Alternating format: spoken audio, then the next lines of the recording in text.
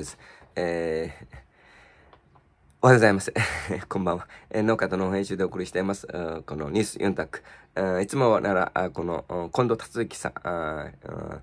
えー、新防衛研究チャンネルさん、このウクライナ選挙、およびまた、えっとさん TV さんと拝聴していますけど、時間の都合で今日はこの、昨日ですね、40分くらい結構長いタイムだけど、昨日から今日の朝にかけて、この、えー、僕団ウクライナですね、僕ら在住の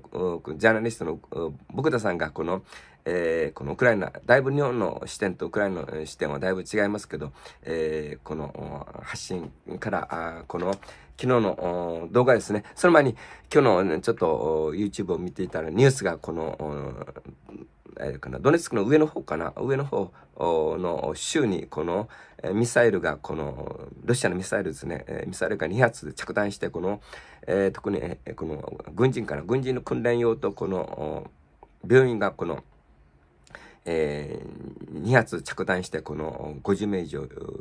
死亡して、こうして、えー、200、250名以上、怪我人が出てますね。えー、ゼレンスキー大統領もこれは絶対に許せないということで、報復をもう宣言してますね。えー、この西側ももっと協力して、絶対にこの、えー、この日本もパトリオットを出して本当に、えー、防空システムですね、えー、100%打ち落とすということで今回、えー、この防空システムの弱い地域に、えー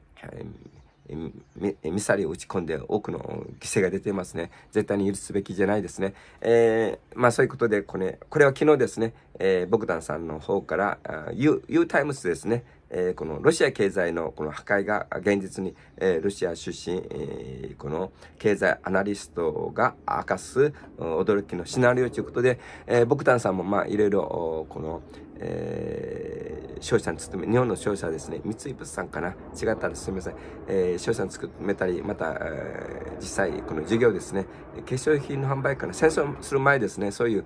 事業、社長ですね、アナリストも好きということで、えー、この、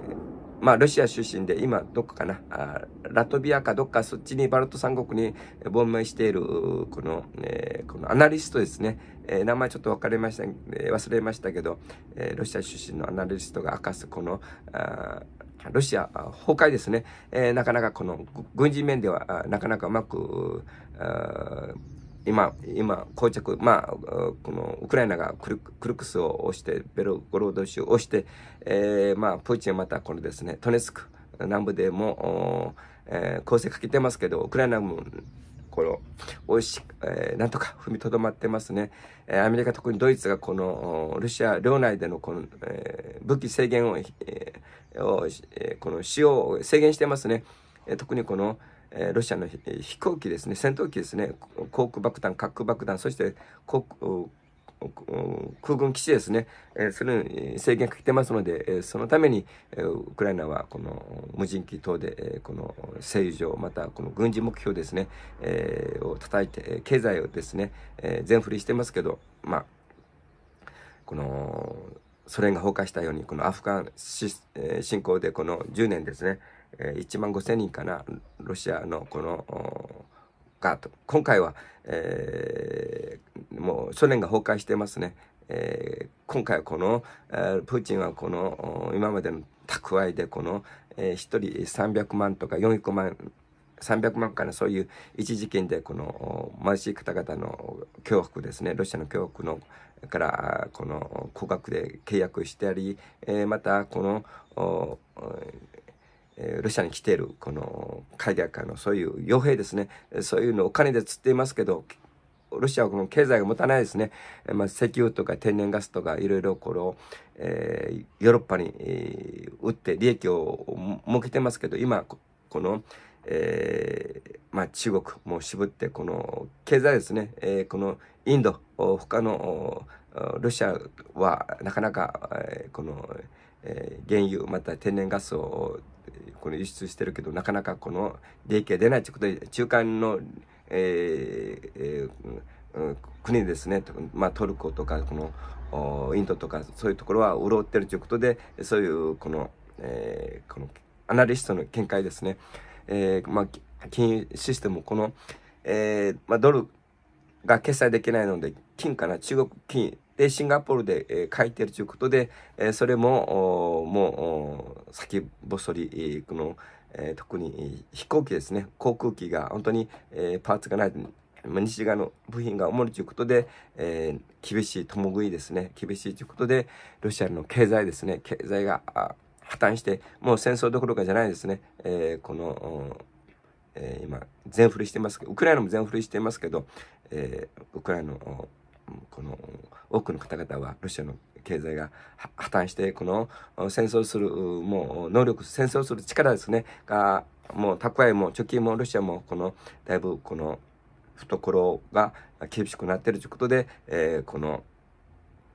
そう考えてるとこで、えー、まあ、この、あ最後にこのアナリストがロシアの、まあ、得意な分野ということで、えー、この宇宙と原子力ですね、えそれを述べていましたけど、イーロン・マスクもですね、えー、なかなかこの、おまあ、ロシアよりですけど、え、この、おえーハリボテかな？そういうことで、えー、いろいろとこのロシアはこの巨大な、えー、全てモスクワ、えー、と言っていますけどこの弱さもありますね、えー、そういうことでこの僕田さんがそのうまくこのウクライナ人の立場から見たこの、えー、これですねロシア経済の破壊が現実にということでまたロシア出身経済アナリストのあ明かす驚きにしななかなか、えー、拝聴して、えー、全て、えー、紹介できるものじゃないですけど、まあ、引き続き時間の許す限り、えー、僕団ウクライナを拝聴。いうタイムスですね、えー、このセレクトと、まあ、トピックスがあるということで、えー、ウォッチングしていきたいと思います、えー、またこの新防衛研究チャンネルさんですね。マットさん TV さん最近はネット大衆大衆ブルカさん拝聴する時間ありませんけど、えー、またあ元気に今度辰木さんが元気になったらまた、えー、新聞研究チャンネルさん、ウクライナ選挙を拝聴していきたいと思います。えー、ウクライナに栄光あれですね、えー、プーチンが始めたこの2014年のクリミア併合、そしてドンバスのブーム戦争、今回の全面戦争、絶対にこのソ連崩壊時のこのウクライナの完全な主権の回復、ウクライナに栄光あれ、ウクライナに平和ですね、えー、引き続き、えーえー、ウクライナを応援していきたいと思います。えー、マサトです。マサトのこの YouTube チャンネル登録、またコメント、いいね、ボタンとよろしくお願いいたします。えー、また聖書を引き続き、えー、学びたいというお友達も募集してますのでよろしくお願いします。えー、マサトした、次回のニュース4択でお会いいたしましょう。仕上げのやつ、パッションプロデュー、シャロム、シャロム、シャロム。